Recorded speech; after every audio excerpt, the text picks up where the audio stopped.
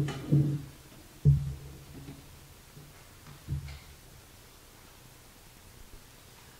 like to read from uh, Ephesians chapter 2, verse 8 and 9, written by Paul.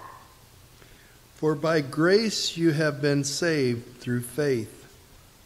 And this is not your own doing, it is a gift of God, not as a result of works, so that no one may boast.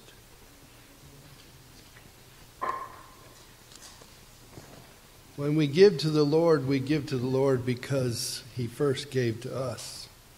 When we love the Lord, we love the Lord because He first loved us. It's at this time that we offer a prayer for the contribution. Let's go to our Father in prayer.